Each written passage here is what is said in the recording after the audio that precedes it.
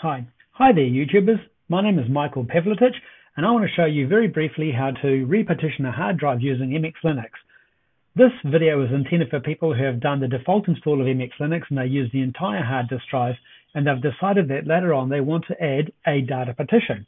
So I have got here a virtual machine that I'm operating, and uh, I'm running live Linux at the moment. And uh, this is the, the root drive of the virtual machine. So what I want to do is show you very briefly what that looks like first. So I'm going to pop in here and go to gparted. Just type part in there, that's enough. Password in there. And what do you know, I put the wrong password in there.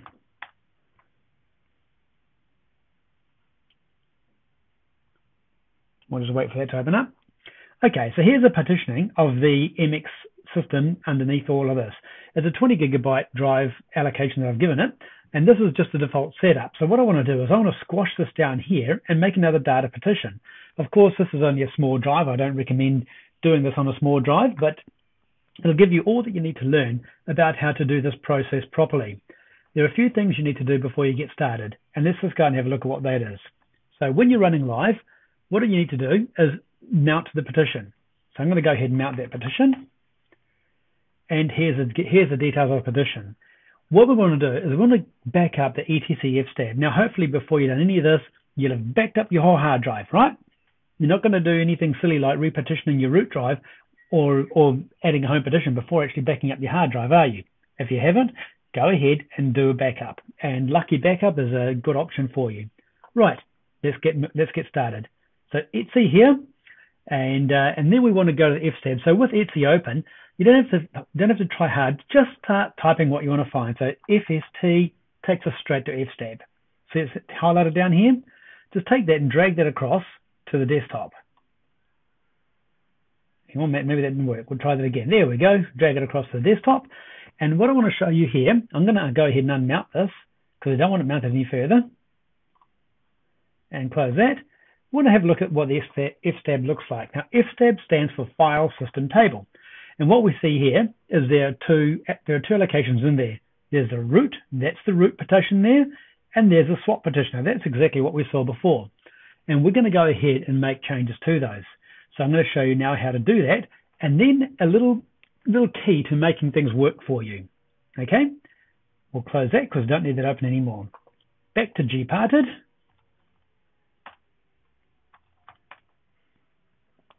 And we have our partitions here. So all we're going to do is resize this. And to do that, um, it pays to make sure nothing on the drive is in operation. But because we're running in, in live Linux, it really won't matter if we leave MX swap on. But here's what I'm going to do. I'm going to turn swap off. So right click this and click on swap off. Right. Now there's no locked partition anywhere on, on this storage media. I'm going to go ahead and right click this and resize. Now I'm just going to uh, resize a little bit. I may end up having to um, Edgy, I'm going to go. I'm going to take a moment here just to explain how the Linux file system, the ext4 file system, works. In the storage partition, when you and I think in terms of sequential storage, um, but Linux uh, and the ext4 system doesn't think like that. Your first file ever planted on a Linux file system, and, and um, an, ex an exception is the bootloader, would be right here in the middle of the drive. So as you fill your drive, it fills from the middle and starts occupying space all over the place. When you're resizing a drive, it's got to move any files it finds that are in the path. So I'm just going to resize a little bit, okay? Rather than, I mean, it won't let me resize down past that. And as we can see here, we get 4.811 megabytes or 4.8 gigabytes of used space. I'm going to take that up a little bit to about halfway, something like about here. Now, at this point in time, if I wanted to adjust it to, meet, to make an exact size, let's say I want exactly 10 gigabytes here, 110 oops, and I press tab, what you see here is it's grown nicely. If I want to make that 8 gigabytes, 8000, you can adjust it with actual numbers as you go. So we left the 10400. I'm going to go back to the 10, and we're going to go ahead and resize that. We, that's, that's what the new layout's going to look like. So go ahead and we hit apply and apply again. And now it's going to sit there and do that work for us. Now, um, I'm just going to let that go for a short time. If it looks like it's going to take ages, I'm going to pause the recording and we'll come back to it later on. And yes, I'll pause it. We'll see you very shortly. And we're back. So we're finished with the repartitioning. It didn't actually take that long because it's only a small drive. But uh, let's say on a drive of 256 megs or 256 gigs, uh, you might expect to wait five minutes or so. Anyway, we're done. If you want to see the details of that, you can open this up and and uh, drill down to to see what happened at every point in the time. But there's no need to. We're happy that it's done okay. So I'm going to go ahead and close that. Now, what I'd normally do at this point in time is I'd reboot the machine to make sure it's working. But in this case here, because uh, I'm working on a virtual machine and I've, I've taken a snapshot of my virtual machine, I can destroy it and then re restore it to the snapshot. I'm just going to keep moving forward at a blinding rate. Right, so we have now SDA1, which is an ext4 partition, and SDA2, which is a Linux swap partition. The next partition we're going to be putting in is, an, is going to be called SDA3, which is a third partition in sequence. But because this was first, this was second, this one here in the middle is going to be third. So you need to be sure about how that works. And uh, what I want to do is I want to refer, that, refer back to this in a moment, this little file here, the FSTAB. If I right click the SDA1 and I click on information, what we'll see here is it's got a universal ID on there. That's a UUID.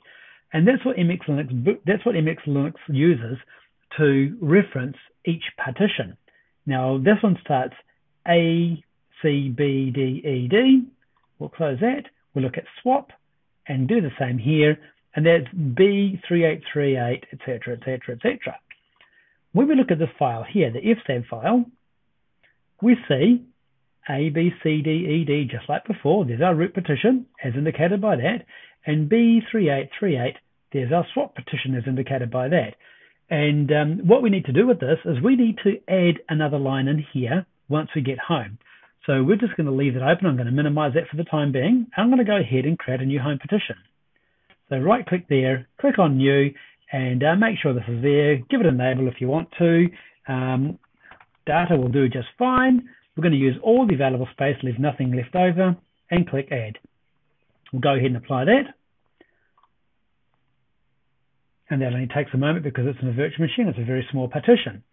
So now that we've done this, what we need to do is, is identify, here it is, SDA3, the UUID that's going to be used in here. So we pop into here, SDA3, right click that, go to information, and we have our UUID. So we take this and we copy that across. We copy, we, we just highlight that and Control C on the keyboard to copy it. I mean, you can right click and copy if you're a mousey type person, but uh, I tend to use a combination of mouse and keyboard. And uh, we're now going to go into this file here that we have minimized and we're going to pop we're going to pop that in. But what I like to do is um, here we go. This is the end of the line here. No, that's the end of the line there. So just stretch it out. Let's hope I can get it all on screen. No, I can't. That won't matter too much. But it, look, let's just go ahead and drop, we'll take some spaces out of here. And we'll take it back to here, eh? Right, there we go. That shouldn't affect anything because it's just basically a bunch of tabs. Right click in here and go UUID equals and paste. That's a control V. And this is the UUID of the new partition that we've got. Now, of course, we need to put that somewhere. So we'll put a few spaces in here and we'll line, we'll line them up sort of round about here. So let's go ahead and line them up all nicely. There's a swap. And this is going to be home, just like that. And then you don't, um, we'll go uh, a couple of spaces and uh, ext4 is going to be the partition type. So let's go ahead and ch change this. I'm only doing this for you guys so you can see it in a nice, laid, nicely laid out way rather than, um, excuse me, rather than uh, say this is what you need to do in every situation. So ext, so it's a, this is a swap partition, it's formatted as swap, and it's got the defaults of 00. This one is now going to be the home partition. It's formatted as ext4, and uh, we've got to tell it to do something with, with how it's mounted. So we're going to go ahead, oops, just lining it up again. Defaults will do just fine. And then uh, one, zero. That's just how the driver's treated. But uh, I mean, you can do one, one if you want to. That, that's really up to you. And just make sure there's a blank, there's an empty space at the end of the of that file. So go ahead and save that. So that's either file, uh, file, save or control S. So that's now saved and we're ready to roll. Well, we think we're ready to roll, but that's not quite true just yet. So let's show you exactly why that is. Having it done all that, we now see the data partition here and we see the root MX16. Before we can do anything, we actually have to mount both partitions. So we'll mount the root and then we'll mount the data. And uh, what I'm going to do now is I'm just going to open up a second instance of this and uh, we're going to have the data here and we're going to have the root here. So the data at this point in time is completely empty, but we need to have something from home in that. So let's have a look at what's in home. In home, we've got a folder called owner, but in here, we've got nothing but empty space. And how can we tell? 7.6 gigabytes of available space down here. And on this one, 5.3 gigs available space. So we know we're on two different drives. Now, you can't, you should never just copy from one point to another in a graphical user interface. What you want to be doing is using um, if, uh, using something like if uh, like rsync. So I'm going to go ahead and do that now. So here's a terminal. Actually, no, I'm going to do this differently. I'm going to right click here. So I'm going to open a terminal from within this location. Open a terminal here. So you see I'm in media demo root mx16 home. And I'm going to type another command. rsync minus avs and then star. So we're going to take everything that's in there and we're going to drop it into here. Now, the easy way to make sure that you don't make any mistakes is to copy that and paste it in here. Now, for those that were wondering what I was doing, um, I just I just highlighted with my right mouse button here, oh, with my with my right uh, let my normal mouse button here, and then I center clicked. Now the mouse button, the, the, the middle button is the wheel. So on your wheel, you can just click it in, and that often works very very well. Anyway, I'm going to go ahead and press enter, and I made a mistake. Can anyone tell me what that was? It was I had no permission to do so. So I press the up key again, uh, press home to get to the front of that, and sudo rsync, off we go, demo password, boom, we now have everything that we needed from here and here. So if I go ahead and delete this, the next time we boot, it's going to fall over miserably if this does not exist. So guess what I'm going to do? I'm going to go ahead and delete that. So I'll show you the quickest way to do that. Open root Thunar here. Okay, there, and she's gone. Just like that. I just I did shift delete, so there's no recycle bin or anything, um, no trash bin involved with that. There's now just an empty folder. So now this home location here, I'll go back to here. This home is only a placeholder and nothing else. When we reboot, it's going to go here. But before we do that, we need to take the fstab file that we created and drop it in where we um, drop it into here. So let's go ahead and pop into here, right click, open root Thunar here, and root again.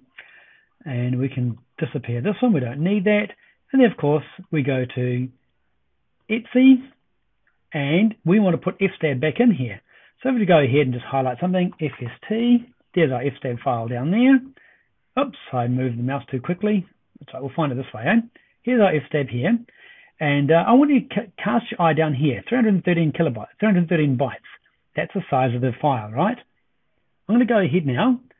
I don't need this open anymore. I'm going to drag this in. So we're replacing the earlier file, which was 313 bytes, with this file, which is 337 bytes. So I'm going to go ahead and replace that. So now when we highlight this file, we now see we've got the new file, 337 bytes. And uh, if we go ahead and open that, there is our new file that we can see with those new defaults built into it. Now, like I said, here's a moment of truth. What I need to do now is I need to reboot. So I'm going to go pop in here and pop in here, and I'm going to restart this this, this system. Of course, being a live Linux uh, um, a, virtual machine, it's going to want to eject the CD and then reboot normally. So let's go ahead and watch this happening. Here we go. And here we go. Now, I worked on an MX18 system that I did some, oh gosh, I, I bought this Nagios back in three years ago, maybe. So it's been hanging around for this long. All right, we're back in. And let's a look at the password right eh? because I haven't opened this for years. Oh, I haven't opened it. Okay. I might have to log in as root. Root and uh, what do you know? I can't remember the password. Give us a second.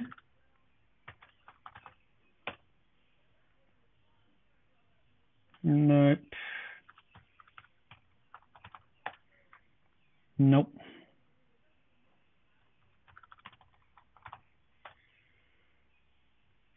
Oh, I can't remember the passwords. That's terrible. Okay, well that's a bit of that's a bit of a fail, isn't it? Look, I'll go and uh, sort out my passwords in this, and I'll come back to the recording. Hey, I'm back again. Just thought I'd backtrack a bit on what I just said, and uh, instead of coming back to you with the uh, repaired password, I want to show you how I'm going to go ahead and do that. And I'm going to add into this little video um, how to use the chroot rescue in MX Linux. So I'm just going to go ahead and close that. And uh, just to show you exactly where we are again, so we've still got the data and root MX16 that we had before. Okay, so pop into here. This is about the easiest way you can possibly imagine to uh, to get back into a system where you've forgotten the password. And uh, here it is here, chroot rescue scan. We'll go ahead and click on that, password for demo. And what it shows here is got MX16 metamorphosis, uh, forget the date, um, but it's already selected it. So all we have to do is press enter to select the highlighted entry. So go ahead. Now we're actually in MX16 and I want to show you something very, very briefly here. Um, so uh, who am I? I am root. Okay, and uh, list. So these are the contents and um, the contents of the drive that I'm logged into. And here's our home one here. And what I want to do is I want to show um, the contents of home. Theoretically, there should be nothing in there. ls home. List the contents of home. It's empty. How about that? So I know I'm on the right drive. Okay, so now I'm going to go ahead and reset the root, the root password, which I didn't know. passwd. Into the new Unix password. So I'm just going to go TWR for the sake of something nice and easy to remember. I can go ahead and change it later on. And that's the root password changed. Simple as that. So Control D to exit and Q to exit again. Done. I have now reset the password on that. Okay, rebooting and uh, we'll meet you back in just a few seconds. Where is it? Restart. Okay, we're back again, and uh, of course we're still not going to be able to log in as owner, so I'm going to log in as root as I did before. So root and TWR. That's better, I'm logging in. Now, of course, you can always log in and uh, you can always use the MX tools to reset passwords. I prefer to do it another way. The MX tools kind of speak for themselves. So like if you pop into here, now this is MX16, so it's going to be a much, much older version of it. And uh, somewhere in here we'll have user manager. I've probably missed it. There it is right in front of my eyes. So you can go user manager and then uh, you can choose the user, add, change user password. You can pop in here and you can go ahead and change a password, etc., etc. Um, I prefer to do the command line way, so I'm going to go ahead and do it with the command line. There, access terminal, so sudo password OWN here, sudo password owner, and new Unix password RENOW. This is to mix up the word owner. Renow, renow, done. Control D and log out. And now RENOW. Now, of course, if it didn't work, we wouldn't even get here. Oh, this, I remember this annoying screen. Okay, have a look, having a look here. We now have our home folder, where the, the relocated home folder. We have 8.1 gigabytes of free space in there. If I go to the file system, we have 5.7 gigabytes. So we have successfully added a home partition. We'll go back and have another look at that through gparted.